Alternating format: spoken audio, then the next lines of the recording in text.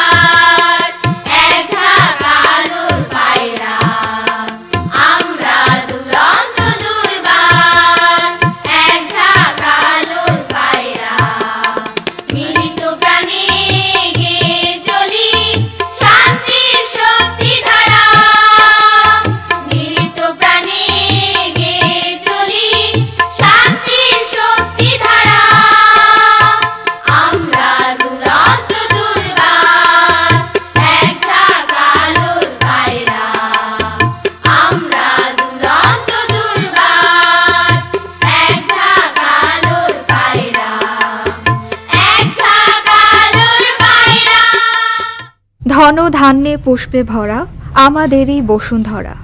তাহার মাঝে আছে দেশ এক, সকল দেশের সেরা। কি নাম সেই দেশের? ঠিক ধরেছ, আমাদেরই প্রিয় বাংলাদেশ। ভালোবেসে কবি সাহিত্যিক যাকে বলেন কখনো সবুজের দেশ, কখনো বা বলেন ফুল ফসলের দেশ, কখনো গানের দেশ, ভাটির দেশ। সে কথাই শুনব ন্যান্সির কণ্ঠে।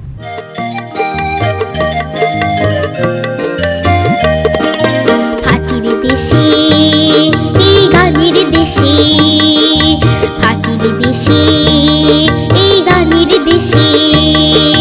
নয়ন জুড়ায় ফসল ভরা মাঠে নয়ন জুড়ায় ফসল ভরা মাঠে ফাটির দেশে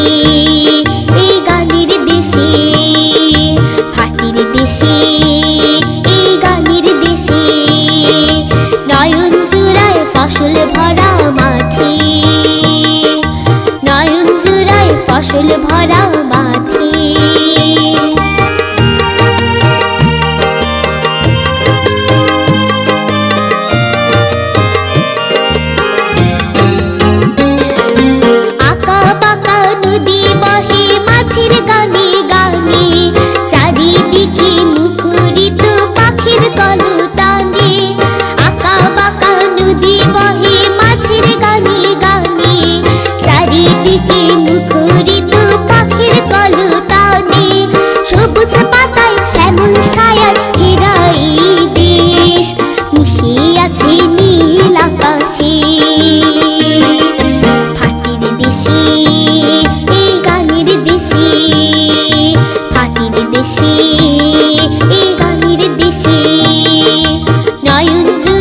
আসলে ভরা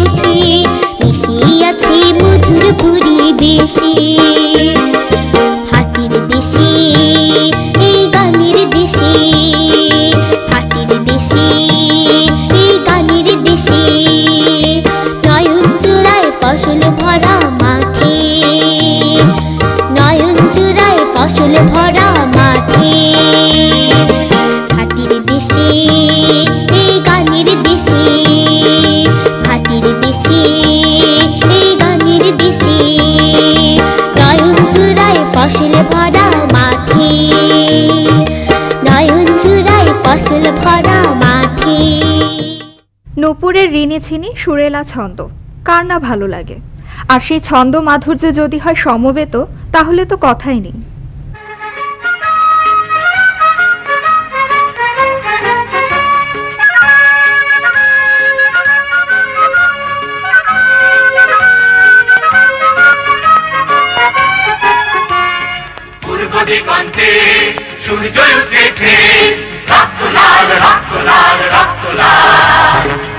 আর এসেছে বড় সমুদ্রে রক্ত লাল রক্ত লাল রক্ত লাল পাথর ছেড়ার হয়েছে কাল হয়েছে কাল হয়েছে কাল হয়েছে কাল।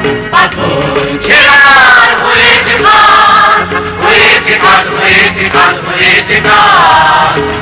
আর এসেছে বড় সমুদ্রে রক্ত লাল রক্ত লাল রক্ত লাল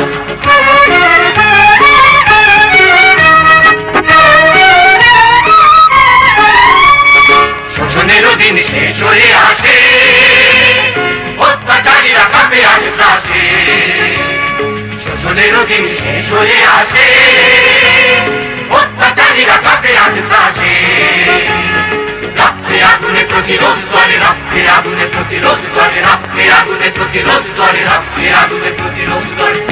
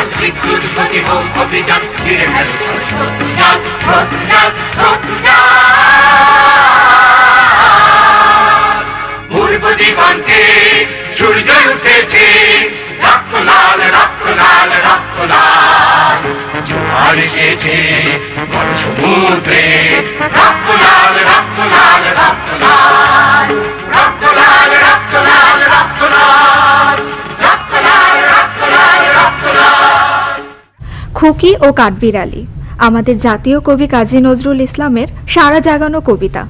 আর সেই খুকি ও কাঠবিড়ালির মধ্যে ভাব জমানোর দৃশ্যই এখন দেখব।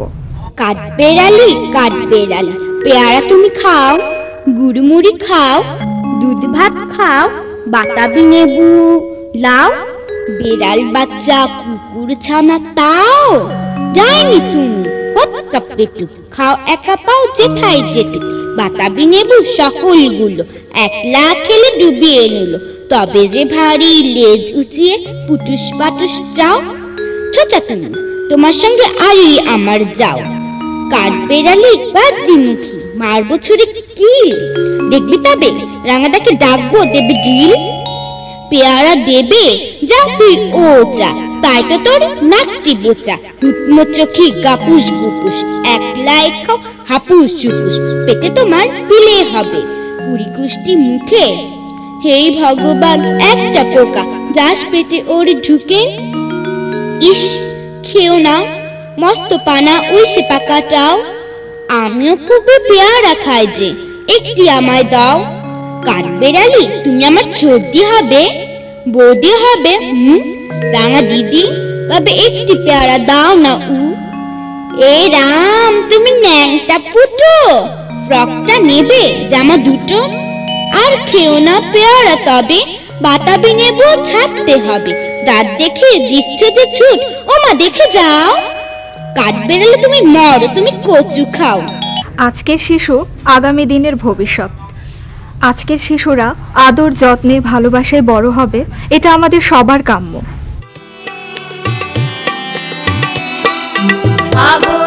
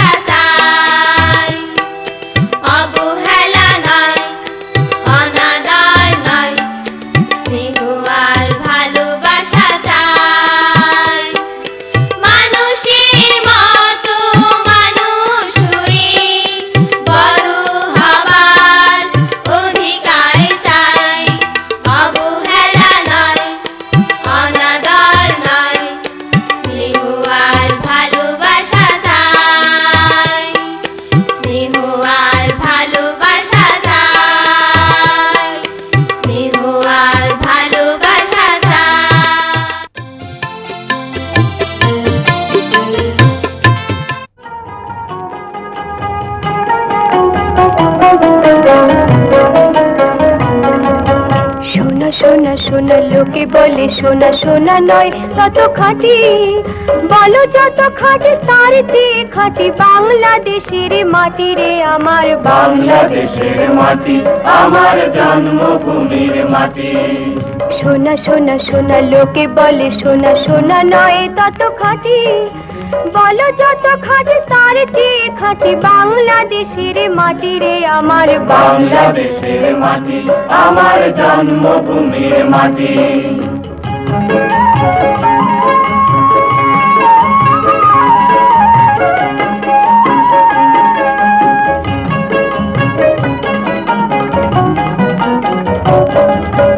ধন ধন বল যত ধন দুনিয়াতে। হয় কি তুলনা বাংলার কারও সাথে? ধন ধন বল যত ধন দুনিয়াতে। হয় কি তুলনা বাংলার কারও সাথে? কত মার ধর মানিকি রতন কত জ্ঞানী গুণী কত মহাজন। কত মার ধন মানিকে রতন কত জ্ঞানী গুণী কত মহাজন। এনেছে আলোর সূর্য, এখানে আধারের উপর কাটিরে আমার বাংলাদেশের মাটি, আমার জন্মভূমির মাটি। সোনা সোনা সোনা লোকে বলে সোনা সোনা নয় তত খাঁটি বলো যত খাঁটি তার যে খাঁটি বাংলাদেশের মাটি রে আমার বাংলাদেশের মাটি, আমার জন্মভূমির মাটি।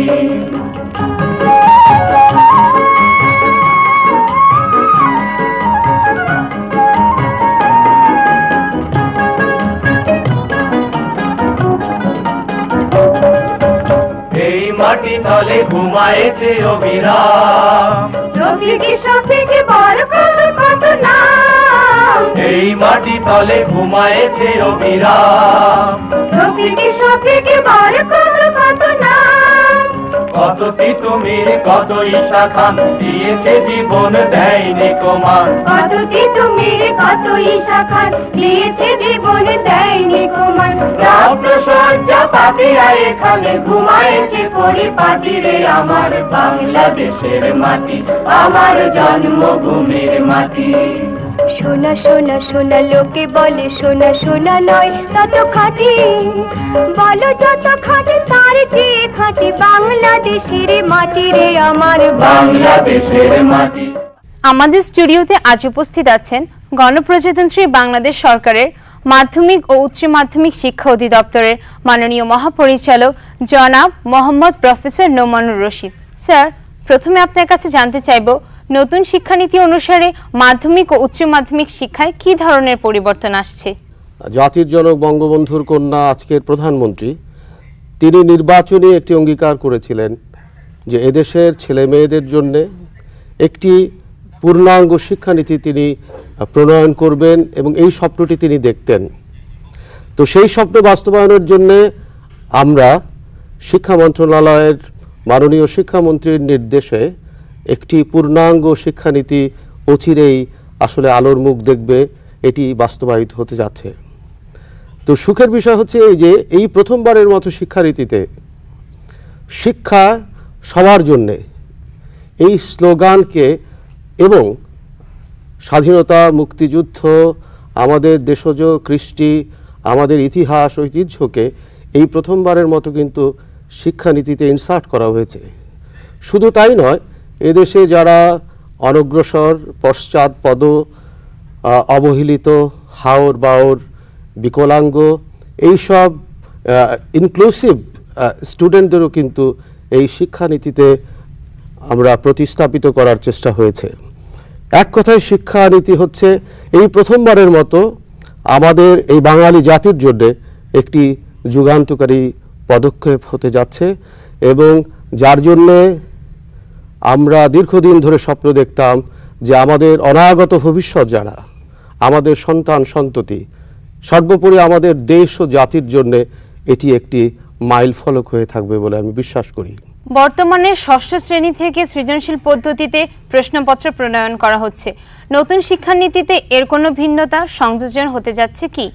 হ্যাঁ অবশ্যই যে আমরা এই এই বাঙালি আমাদের হাজার বছরের যে ঐতিহ্য আছে, এই ঐতিহ্যকে আমরা তো ওইভাবে লালন করতে পারিনি। কারণ আমরা একটা সীমাবদ্ধর মধ্যতেই কিন্তু আমরা অগ্রসর হচ্ছি। আমাদের প্রগতি বারবার কিন্তু প্রতিবন্ধকতার বিভিন্ন কারণে আমরা অবরুদ্ধ হয়ে যাচ্ছি। এই জন্য এই প্রথমবারের মতো এই শিক্ষানীতিতে এই যে সৃজনশীল পদ্ধতিটা কি?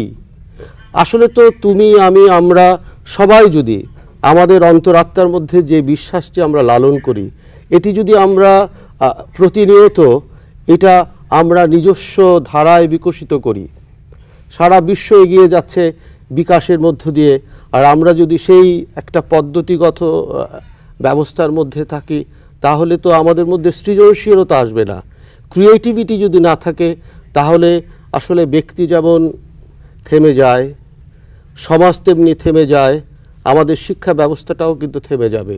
এই জন্য আজকের যে সৃজনশীল পদ্ধতি যেটা ছাত্রছাত্রীদের মধ্যে নতুনভাবে আরোপিত হওয়ার উদ্যোগ নয়, শুধু ইতিমধ্যে শুরু হয়েছে, সেটি স্কুলে, কলেজ পর্যায়ে, সর্বোপরি মাদ্রাসা শিক্ষা ব্যবস্থার আধুনিকায়নের জন্যে, একটি ছাত্রছাত্রীর জন্যে অবশ্যই এই বিশ্বায়নের যুগে সৃজনশীল পদ্ধতি হবে আমাদের শিক্ষার্থীদের মানসিক বিকাশের অন্যতম নয়, আমি বলব একেবারে বিশিষ্ট একটি বিজ্ঞান মনস্ক পদ্ধতি, যেটি আমরা এই শিক্ষা মন্ত্রণালয়, আমাদের শিক্ষা অধিদপ্তর বিভিন্ন প্রকল্পের মধ্য দিয়ে ইতিমধ্যেই যেমন ছাত্রছাত্রীদেরকে প্রস্তুত করছে, অভিভাবকদের প্রস্তুত করছে, আমাদের শিক্ষকদের প্রস্তুত করছে, সর্বোপরি শিক্ষা ব্যবস্থাপনার মধ্যে যারা সম্পৃক্ত